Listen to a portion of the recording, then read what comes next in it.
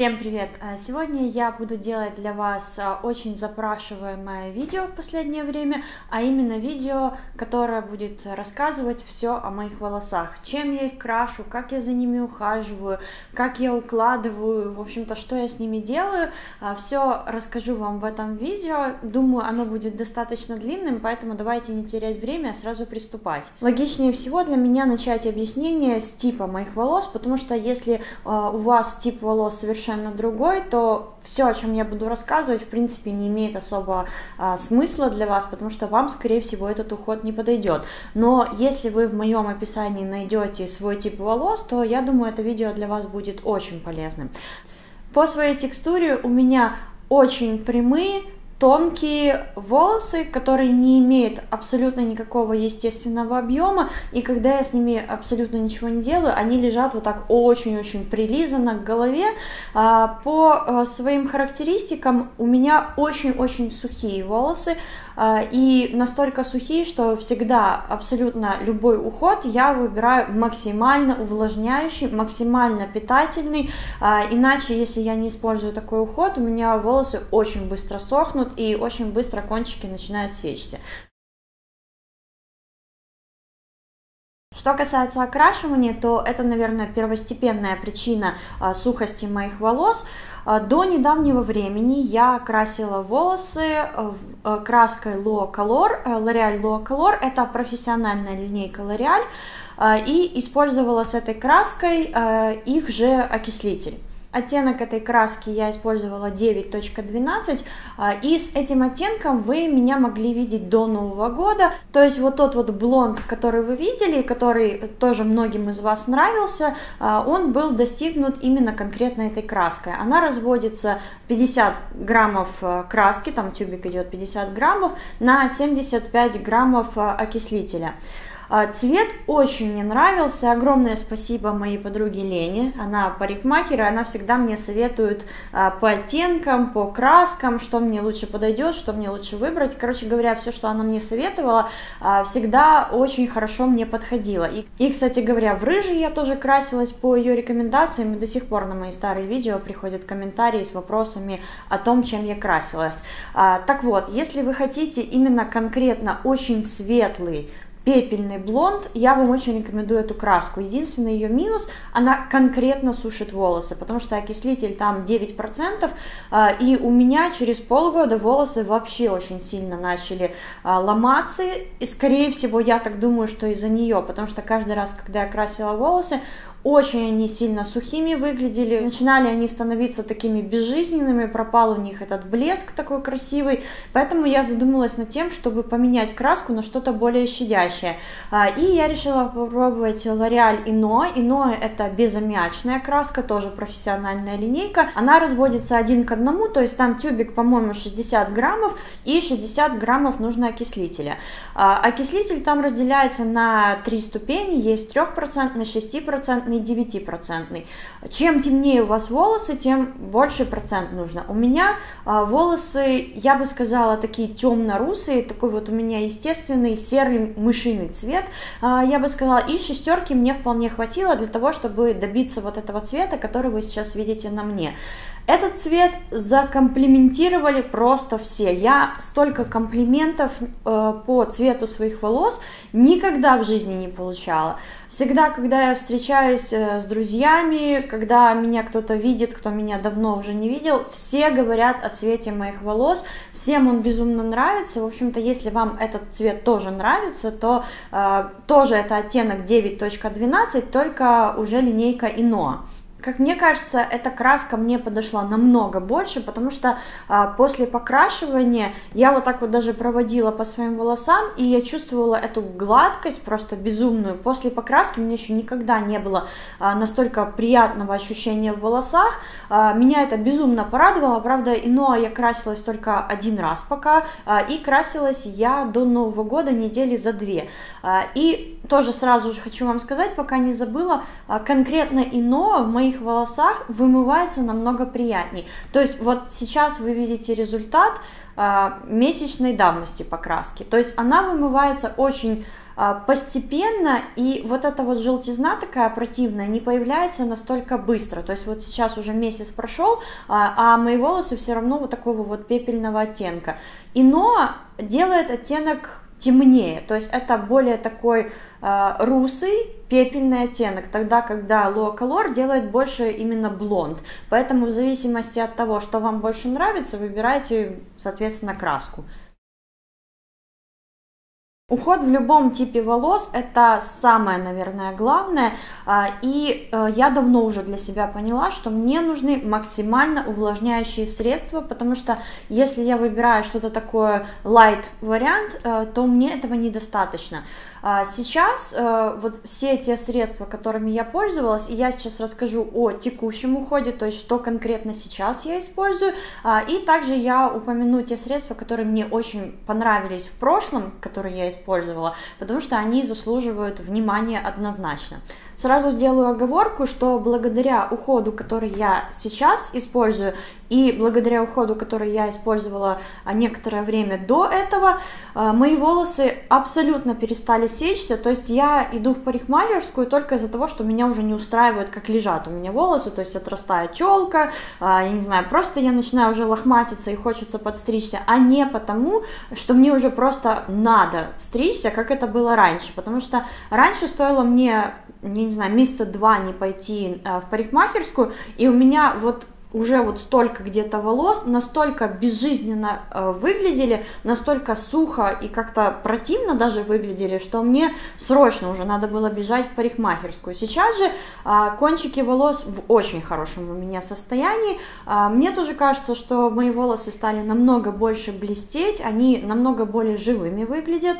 И давайте сейчас сразу расскажу, а что конкретно сейчас я использую уже достаточно длительное время, может быть последний месяц, может даже больше, чем последний месяц. Что касается шампуня, то сейчас я пользуюсь вот таким вот. Это бренд White Mandarin, это органический бренд, и, кстати говоря, производство они держат в Украине. Сначала я довольно скептически отнеслась к этой марке, а, но а, почитав больше информации о них, я узнала, что это действительно сертифицированная органика, а, у них есть все нужные там сертификаты, в том числе сертификаты Кассерт. Что касается конкретной линейки шампуня, то у меня это укрепление и рост, а, и мне абсолютно все в этом шампуне нравится, за исключением одной такой маленькой детали, это то, что он очень плохо пенится. А, это, скажем так, проблема в кавычках для практически всех органических шампуней, и эта проблема усугубляется, если у вас достаточно длинные волосы. Вот сейчас у меня, мне кажется, кажется, достаточно все-таки длинные волосы, поэтому с этим шампунем приходится довольно много повозиться, и расход у него просто бешеный. А баночка довольно небольшая, здесь 250 миллилитров, но хватит этой баночки вот на мои волосы, это максимум на месяц. Если у вас еще более длинные волосы, то еще, естественно, на меньше его хватит. А также я пользуюсь э, этой же маркой бальзамом. Бальзам у меня из другой серии, это увлажнение и защита. Вот бальзам мне безумно безумно просто нравится. У него ощущение очень дорогого люксового бальзама. А, очень-очень классный бальзам. А, после него волосы мягкие, приятные, послушные. У меня от этого бальзама волосы перестали ломаться, в принципе. И сейчас вот я полностью уже избавилась от этой проблемы. В общем-то, и одно, и второе средство мне а, безумно понравились, и я с удовольствием продолжаю ими сейчас пользоваться. До того, как я начала пользоваться маркой White Mandarin, я очень долгое время пользовалась шампунем и маской от Брилил. А, я уже показывала конкретно этот шампунь в пустых баночках, правда, там именно конкретно маленькая была баночка. А, после того, как я попользовалась маленькой, я решила купить уже себе такой вот профессиональный размер, потому что мне этот шампунь очень тоже понравился. Это серия с гиалуроновой кислотой, золотая серия. А, что хочу сказать.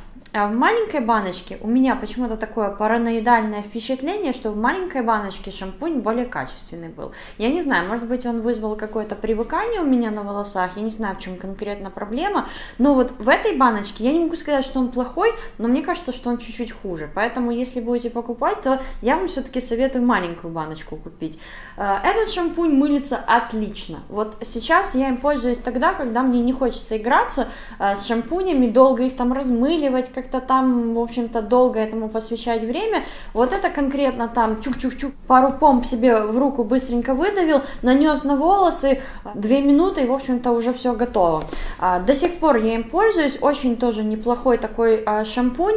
А, что касается маски, тоже золотая серия, вот такая маску я бы не рекомендовала. Вот я вам честно скажу, что лучше возьмите себе вот такого вот рода бальзам, он намного более какой-то люксовый по ощущениям. Вот действительно, другого слова даже подобрать я не могу. Реально такой вот как люксовый бальзам. А, и в Брилил конкретно он вот такой более никакой, знаете, более похожий на абсолютно стандартный, типичный вот дешевый бальзам для волос. А, вот это же мне средство намного больше понравилось. А, и что касается еще дополнительного ухода, я также а, приблизительно раз в неделю, может быть раз в полторы недели, как там уже получается по времени, обязательно наношу маску. Самая лучшая маска, которой я когда-либо пользовалась, была от Moroccan Oil. Я уже, в принципе, об этом рассказывала, что в целом уход Moroccan Oil это был, наверное, переломный момент э, с моими волосами. До того, как я пользовалась Moroccan Oil, волосы у меня, вот, ну, я не могла ничем абсолютно похвастаться, и из вас никто не замечал и не комментировал, что у меня там какие-то волосы особенные. После того, как я начала пользоваться Moroccan у меня волосы очень сильно преобразились. И я уже рассказывала, что мне в Moroccan нравится все, абсолютно вся линейка. И шампунь, и бальзам, и маска, и масло. Вот все мне нравится просто. А, я пользовалась шампунем и бальзамом для объема. Маска у меня была восстанавливающая. Вот что касается конкретно вот этой маски, она просто феноменальная. Вот реально обалденная просто маска, ее очень мало нужно держать в волосах, но в то же время настолько быстрый эффект наступает. Я не знаю, Moroccan Oil очень многие ругают, потому что да, по составу там есть силиконы, но я не знаю почему, но она реально очень сильно преображает. И вот после того ухода, вот после того переломного момента я уже начала и другими средствами пользоваться, но в то же время волосы все равно у меня выглядят все лучше и лучше и лучше и лучше. То есть вот как будто я запустила Moroccan Oil какой-то процесс, а, и после этого волосы мои пошли вот просто в гору по э, именно своему качеству. Поэтому сразу вам говорю, если у вас есть возможность, обязательно попробуйте Moroccan Oil. Кстати, Moroccan Oil сейчас появился на сайте Beauty Joint. Э, через мой проект Simplum можно покупать эти продукты с 20% скидкой. Э, ссылка, кстати, на все товары, о которых я сегодня буду рассказывать, ссылки я всегда описываю э, внизу, поэтому заходите, смотрите, в общем-то, выбирайте, если вам что-то понравилось. Что касается маски, которой я пользуюсь конкретно сейчас, то это это вот такая вот маска от компании Рафайн, наверное, она называется, крем-маска для волос. И чем конкретно меня заинтересовала эта маска, так это своим составом, потому что состав здесь на 100% натуральный. Вот сейчас вам прочитаю. Масла ши, пальмовое, кокосовое, касторовое, кунжутное, репейное, эфирное масло иланг-иланга. Все, больше здесь вот по заявленному составу ничего нет. А, по консистенции это маска вот такая вот суфле, и она именно очень такую приятную консистенцию имеет, то есть когда ее набираешь, она реально вот как суфле вот а, ощущается. А, единственный, э, единственная проблема, скажем так, этой маски, э, и опять-таки эта проблема в кавычках, это то, что из-за высокого содержания масел она очень сложно вымывается с волос. И вот здесь вот даже в применении написано, что вам нужно ее нанести, достаточно долго с ней нужно ходить, там порядка получаса, то и больше, то есть из-за того, что здесь масла, чем больше вы будете ходить, тем больше вы, соответственно, получите результатов. Э, здесь нет силиконов, которые мгновенно делают какой-то видимый эффект, э, здесь конкретно все э, базируется на маслах. Так вот, ее вымыть из волос очень сложно, и конкретно даже здесь написано, что эту маску нужно смывать шампунем. Для меня это было удивлением, потому что я еще ни разу не пользовалась никакими масками, которые нужно потом вымывать шампунем.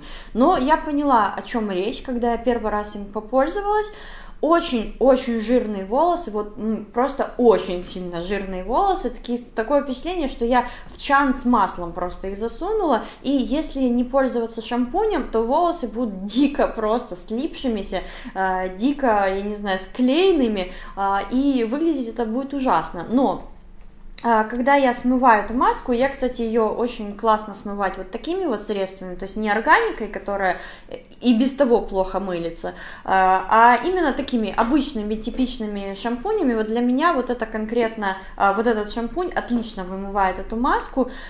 И вы знаете, я ей пользовалась не очень много раз, вот где-то, наверное, раза 3-4 я ей пользовалась.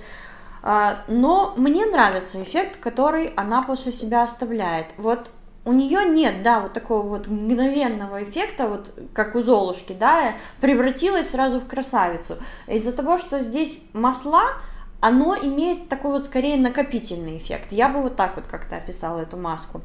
А дальше. На маске у меня тоже все не заканчивается. Последний этап это я уже вытираю волосы полотенцем. И, кстати говоря, вот так вот вытирать ни в коем случае нельзя.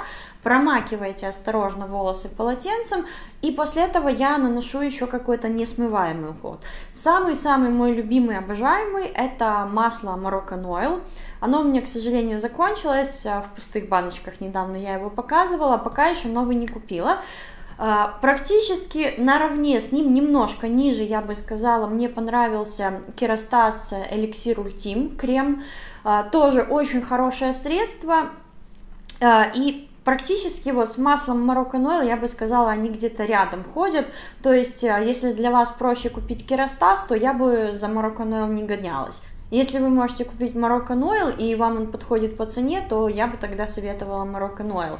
А чем сейчас я пользуюсь, потому что у меня и то, и другое средство мне, к сожалению, закончились. А сейчас у меня в обиходе осталось вот такое вот масло от Гош. А, это кокосовое масло, увлажняющее. А, что могу сказать по поводу этого масла? Ой, запах у него просто потрясающий. Я вообще кокосовый запах обожаю, а это именно такой вот приятный кокос, не химозный какой-то противный, а именно такой Приятный-приятный. Я когда пользуюсь э, этим средством и сразу выхожу на улицу, меня все спрашивают, что это у меня за парфюм. Но да, пахнет он просто божественно. Но, но, но у него есть один конкретный недостаток, даже учитывая то, что у меня очень сухие волосы, вот эта штука – может все-таки сделать их достаточно жирными. А, я использую максимум одну капельку, растираю хорошо вот так вот между ладошками и вот буквально только на конце его использую. Если вот я поднимусь немножко выше, все, волосы у меня сразу станут э, достаточно жирными. Ну, не могу сказать, что прям жирными-жирными, э, но вот будет видно, как будто такая, знаете, не свежая уже голова. А, вот, поэтому как бы как только я его допользую, потому что хочется уже допользовать, достаточно давно он у меня уже в обиходе, там где-то, наверное, половинка осталась, я думаю, что я куплю либо Керастас, либо Moroccan Oil, что-то из этого, потому что это потрясающие просто средства для волос. Ну и вообще, конечно, не самое последнее место в виде моих волос занимает укладка, потому что когда я волосы вообще никак не укладывала, я имею в виду горячими какими-то приборами, а, они выглядели все равно ну, скажем так, не было такого вот именно дорогого вида волос. А как только я начала укладывать, и как только я начала, а, научилась, вернее, укладывать свои волосы, они тоже очень сильно преобразились и начали выглядеть намного а, более как-то ухоженно, и в целом вид э, стал намного более ухоженным. А что касается моей повседневной укладки, я уже делала э, на эту тему отдельное видео, я обязательно вам оставлю ссылку, и здесь вы сможете нажать сейчас, и внизу в описании описании я вам оставлю ссылку. Посмотрите, там вообще все очень просто. Я вот могу уложить волосы сейчас буквально за 2 минуты максимум, и при этом выглядят они очень эффектно. А, и на этом, наверное, я уже буду заканчивать это видео. Надеюсь, что оно вам понравилось. Если какие-то вопросы у вас остались, обязательно задавайте их внизу. Я постаралась максимально просто все охватить сразу. А, но если вдруг э, что-то вас еще интересует, спрашивайте, я обязательно вам отвечу. А, обязательно поставьте палец вверх, если вам понравилось это видео. И мы с вами увидимся в следующих моих видео. Пока! А сегодня мы с вами будем готовить очень необычное блюдо, которое готовится очень быстро, очень просто. А, я вам покажу рецепт пюре, но не из картошки, а из э, цветной капусты. А поэтому я решила продолжить эту серию и рассказать вам еще немножко о разных ошибках, которые я встречаю э, ежедневно практически на разных девушках. А, и, возможно, вы также делаете эти ошибки и даже не задумываетесь о том, а, что их можно исправить и таким образом улучшить ваш макияж.